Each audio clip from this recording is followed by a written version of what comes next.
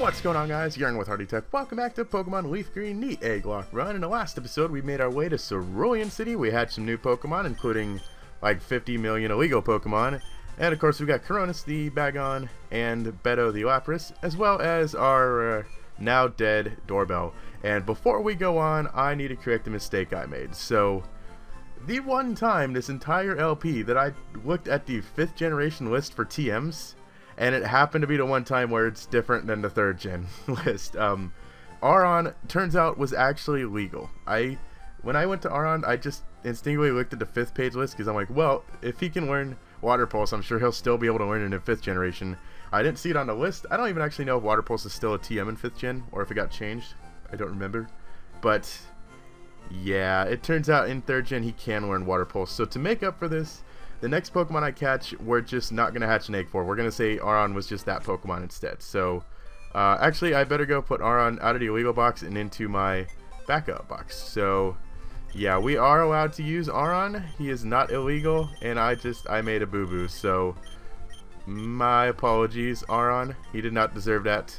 Anyways, today we're going to be going and taking on Nugget Bridge and preparing for Misty, who I am extremely nervous of because at this point I still don't have anybody that's strong against her. Although, um, yeah, no. I thought for a second there Lapras had a Thunderbolt, but no, Lapras does not have Thunderbolt. So I think I'm going to train up Coronis here because he will resist water and Dragon Claw should hit things pretty freaking hard. So, um, that sounds like a decent idea. And Cronus should be able to take on this book trainer because he does have wonderful, wonderful Ember. Oh, no, not a Caterpie. Oh. Oh, uh, I should actually check this. I remember reading a comment, someone saying that um, if Coronis is Rockhead, then Double Edge is going to be extremely overpowered because he will not take any recoil damage. And I think Double Edge is either a, I think uh, Double Edge is 120 base power because I believe Takedown is 90. So yeah, I don't know what his ability is, but right now I'm really hoping it's Rockhead because that would be um, really freaking amazing. I don't know actually which of Bagon's stats is higher, if it's his physical attack or special attack. I believe most Salamences run special sets, so I'm going to assume that um, they're more special attackers, but I'm not sure, you know. I, I think a lot of the times that um, Shelgons use Dragon Claw, but maybe that's just because they don't learn any good special dragon moves. Although, again, this is Standard Generation where all dragon type moves will be special, so overall I'm probably overthinking that too much. I When I think of Wi-Fi battling, I always think of 5th generation where they have the um, physical special split. So when I try to like think of move like sets that Pokemon use, like Salamence running Draco Meteor, I'll be like, oh well, that's automatically special. But I don't. I gotta realize that Dragon Claw is always special in third generation. So let's take a quick look at Coronis. He has Rockhead. Oh, yay! And he has a better physical, way better physical attack than he has special attack. And I guess the cool, I guess, I don't know if this is good or bad thing about the hardy nature, is that it is a neutral nature. So it doesn't boost either stat, but it also doesn't decrease either stat. So I guess that's a good thing. Let's see how much this beautiful double edge is gonna. oh wow! I actually, I actually thought that would kill. Okay learn something every day. When it was going down, I'm like, oh, Coronis is just going to wreck things. And then a Pidgey lived a double edge, which made me a little bit sad. So I actually have a lot of... Wow. I am actually really freaked out this thing's going to try to poison powder me. Um, I have a lot of training to do because I'm pretty sure Misty's Starmie is either 21 or 22. And yeah, so... And the, the Bad thing is we don't have the Versus Seeker yet. You don't get the Versus Seeker until you get to Vermilion, and I'm super excited to get the Versus Seeker because that makes training about 5 million percent easier. Uh, let's give Charcoal a little bit of experience here. I know I just don't want to focus on one Pokemon this entire time because then he'll start to get over leveled, and that's a very bad thing. Like Totodile is over leveled. Well, I don't actually know if Totodile would be considered over at this point because I think he's we're kind of under leveled overall. So yeah, that's like the one one of the bad things about Nuzlocke is that you kind of invest a lot of time into one certain Pokemon, or like a few Pokemon, and not really a lot into the other Pokemon. And then those few Pokemon died and die, and you're screwed because you're left with a bunch of underleveled Pokemon. So you really have to be. Wow. Okay, Double Edge isn't doing nearly as much as I'm expecting it to do. Let's try Dragon Claw. I know our special attack is lower, but it... Wow. what? What? Okay, that's... I'm not even going to question that. Um, I, I, I would have put Bako in the box and brought in Aron, which is... Wait, is Aron a pseudo-legendary? Or I can't remember if Aggron is pseudo-legendary or not, because I know Salamence and, T and um, Metagross are. I don't remember if um, our Aggron is. I don't think he is. I think Metagross is like the only non-Dragon Pseudo in the entire metagame. So Aggron should be a Pseudo, a pseudo. Apparently, I think I'm saying it wrong. I kept saying Pseudo, and someone's like getting mad at me in the comments. I believe it is actually pronounced pseudo, like S O O D.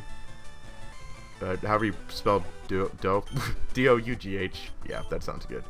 I believe that's the proper way of saying it, and I'm just not smart, so not the end of the world.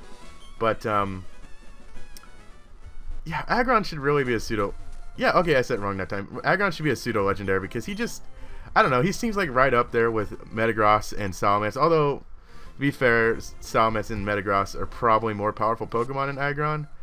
Still, Aggron, he's just like this he's like he has like the same kind of pattern as all the other pseudo legendaries where he starts out really pathetic his second stage is somewhat useful but not very fantastic i think metang is probably like the best um, second stage pseudo legendary because metang is actually really useful in wi-fi battles and nu and i'm freaking poison again of course i hate Nidoran. i freaking hate poison types so much this is what you're to get, Nidoran. You could have been a Nidoking right now, but no.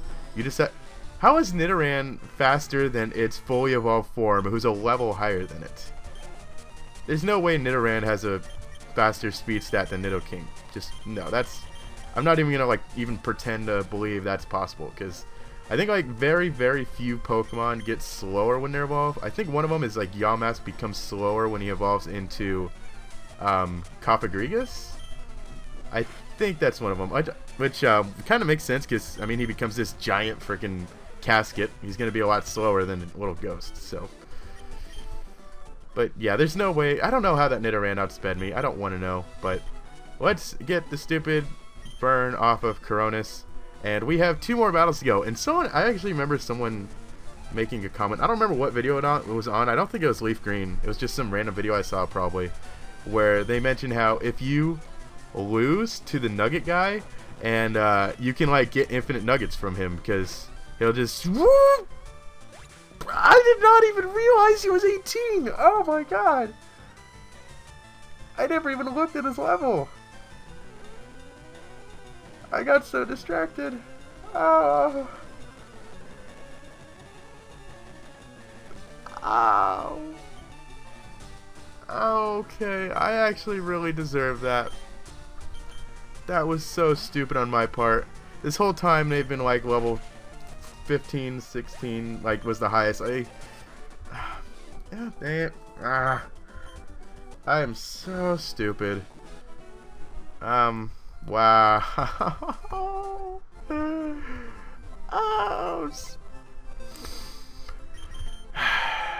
well, that didn't go how I thought it would. Where's my death box? I don't remember. Here it is. Coronis, like the freaking best nickname ever. Such a good Pokemon. Wow.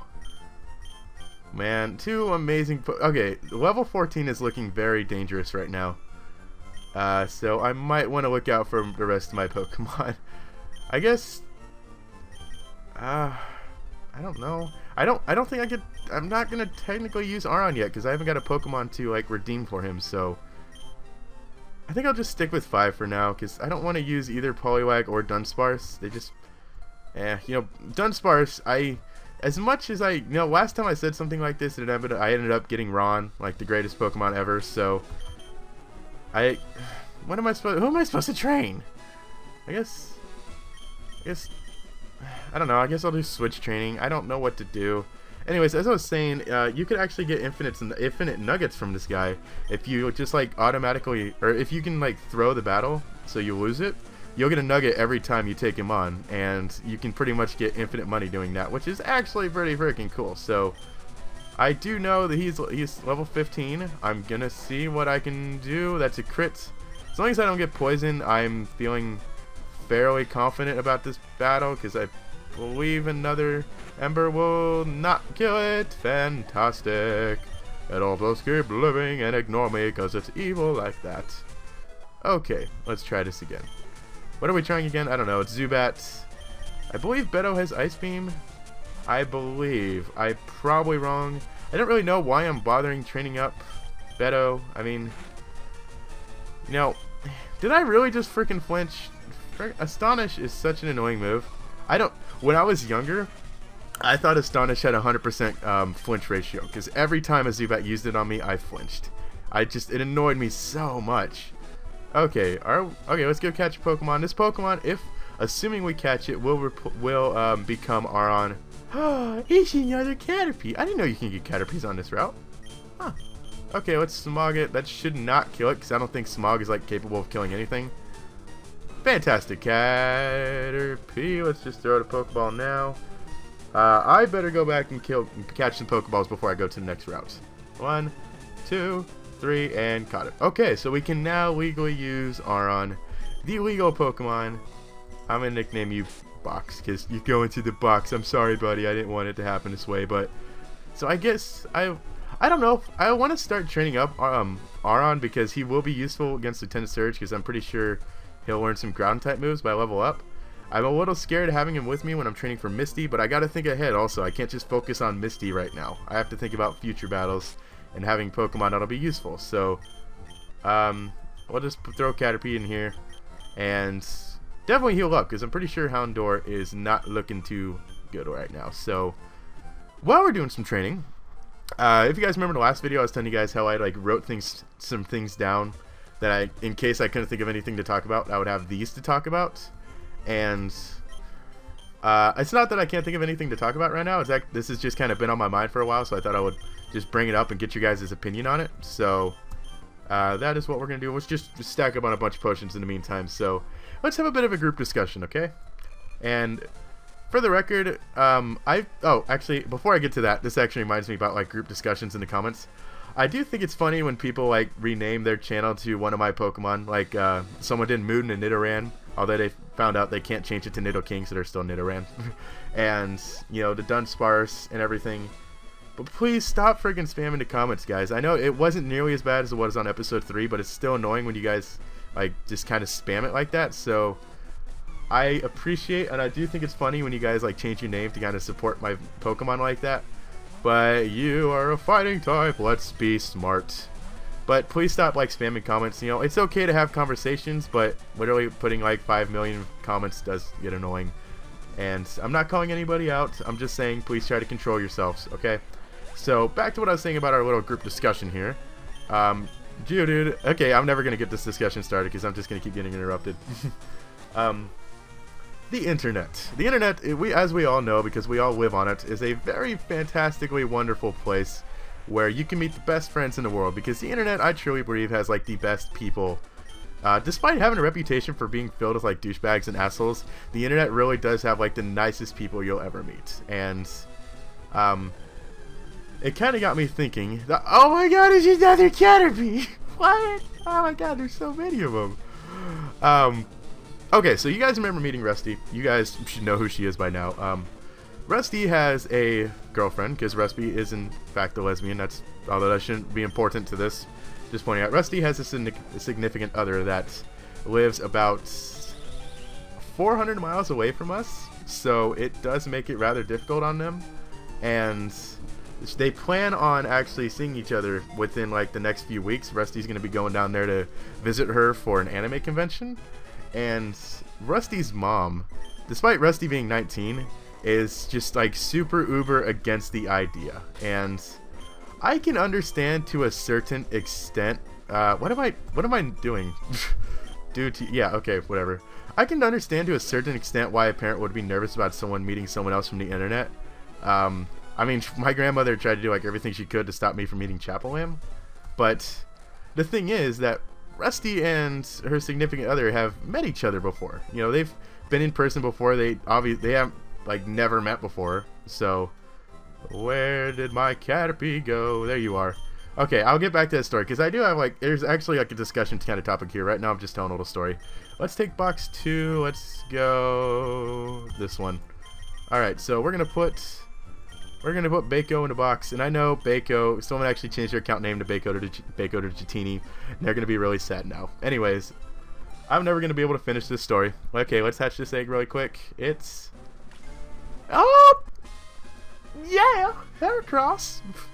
Oh, yeah, okay. I'm super... Actually, I'm playing um Storm Silver on my uh, 3DS right now, or my R4 DS thing, and I have a Heracross named Sipper, so I'm going to nickname this one Sipper in honor of my Heracross. And you better be legal, or I'm going to be so upset right now. Okay, he just... Uh, this guy's got a spot on the team, I don't care. He... Adamant Nature, beautiful. Tackle, weird, seismic... Seismic Toss? Um, really quick, well... Yeah, I'm going to check to make sure Tackle and Leer are the legit moveset, so one sec. Okay, good news. This Heracross is completely legal, and it is going to be level 8, so I got to rare candy it up really quickly. Where my rare candies? Okay, so as I was saying, you know, um, Rusty's mom is just like completely against the idea of them going to visit each other, which I really don't understand. It's been really frustrating for her too lately, so that's, you know, really sucks. And um, it just it kind of got me thinking like what I know obviously it's okay to meet people on the internet. You should be cautious, and I can un fully understand like why parents get paranoid about this kind of thing because there's like a good chance that the person you could be meeting with is a pedophile. But you know, I mean, it, exchanging pictures can be like a little fishy and everything. But I mean, like you know, if you video chat, you talk on the phone, you do all this stuff, it should be pretty obvious that this is like a real person. So, you know, but uh, it kind of like made this leads me to yet another story. These are all kind of inter intertwined. It has to do with like meeting people on the internet. So don't think I'm just like ranting about whatever I want here. Um, oh, I gotta get Aron up to the level of that other Caterpie. So he, the other Caterpie was level seven. I am the worst storyteller ever. I'm just, I'm never gonna get these words out. Um, I am super in love with this Heracross right now. I will tell this story by the end of this video. I promise. Don't worry. Uh, let's go to Toto.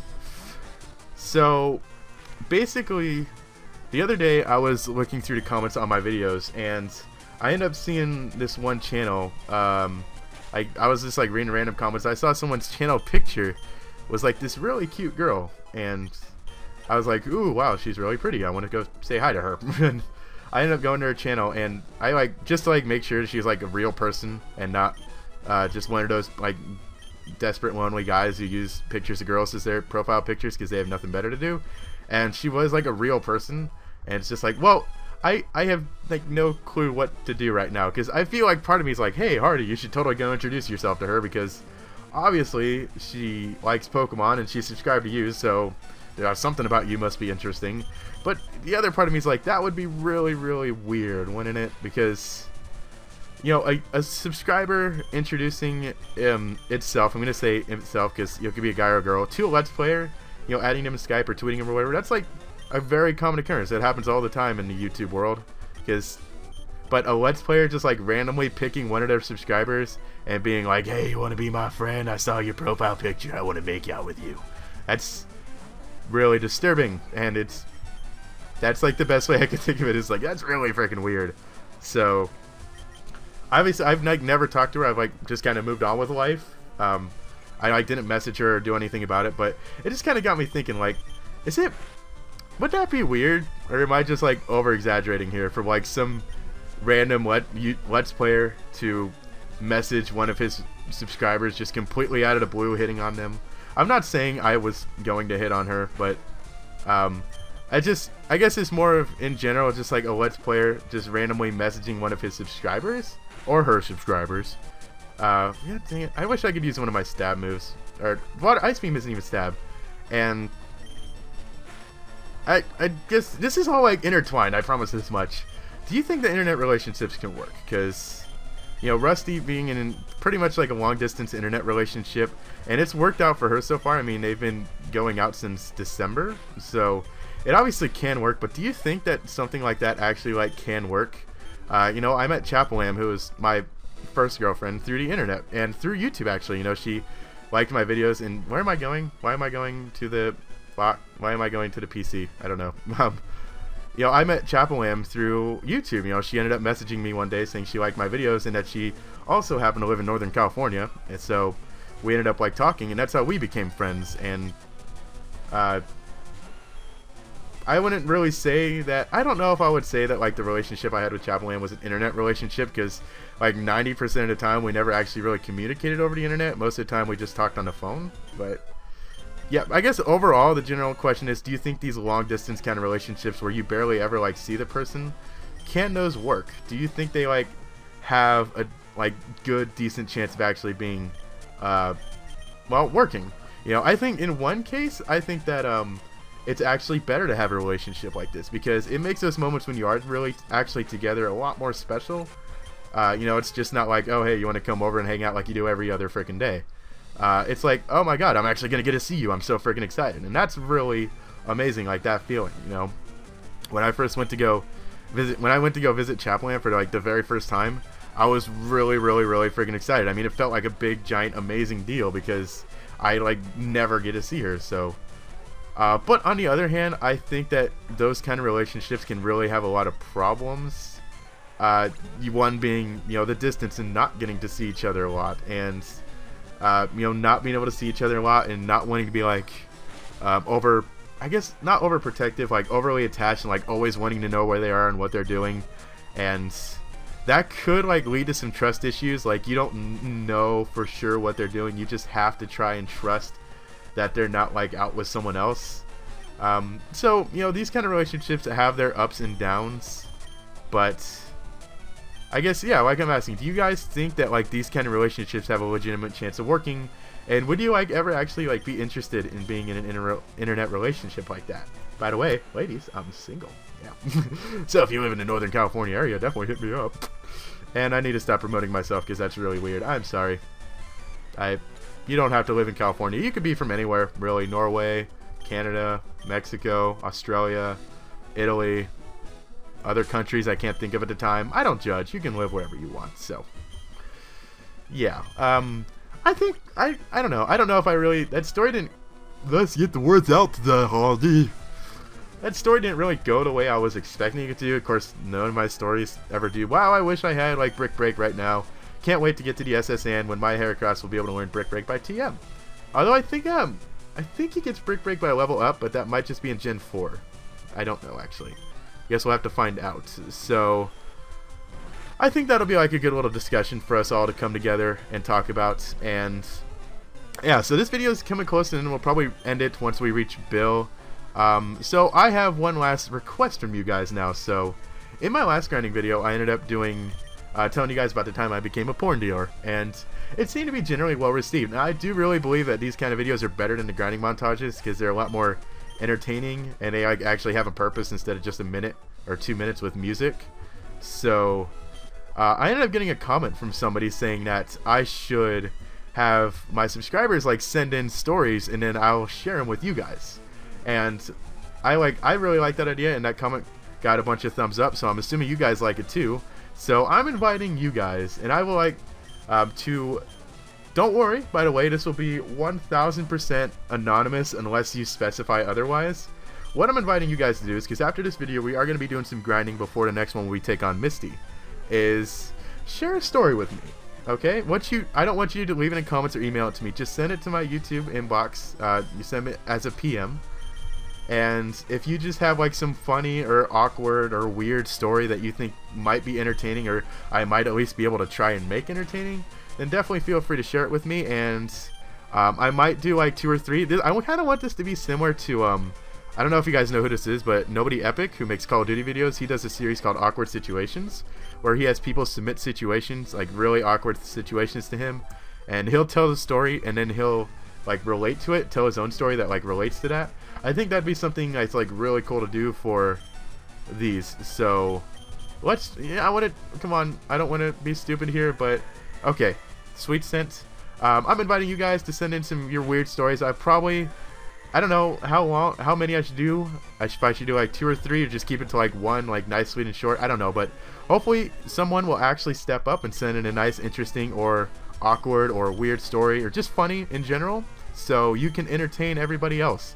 And that's something I really hope to see some people be like, hey, I'm to try to entertain Hardy's audience. And yeah, like I said, they're completely anonymous. Anonymous. The only person who will ever know you sent it is me, unless you specify otherwise and like want people to know it's you for some weird reason. So, yeah, that is my request for you guys today: is to send me your videos and let's get freaky in here, okay? Let's do our stuff. Let's take our pants down and do all that funky stuff. So, hopefully, this will actually be the last grinding montage before. Or, okay, that's we're gonna have a lot of grinding montages. This this will be like the last really tedious grinding montage for me because I should have the Versus Seeker by the next time we have to do grinding. So that'll put a big happy face on my face. Uh, Toto's evolving! Yeah! And is he gonna? Okay, yep. So the National Pokedex did work. A lot of people were like, "Hardy, Totodile's not gonna evolve," but I told you in episode two I got the National Pokedex, so you guys had to stop being paranoid and pay attention for once. So Totodile is now a Croconaw. That is awesome. And we're going to go talk to... We are going to save that for next time. So we're going to start off the episode talking... Dang it. Actually, no, yeah. Okay, that'll be fine. Um, remember, guys, send in you some of your awkward situations that you think I might be able to talk about in a video. Make them interesting or funny or weird or boring or sexual, whatever you want. And let's have that comment... Let's have that discussion down below about the whole internet relationship thing. So until next time, I'm Hardy Tech Yo-Yo. Peace!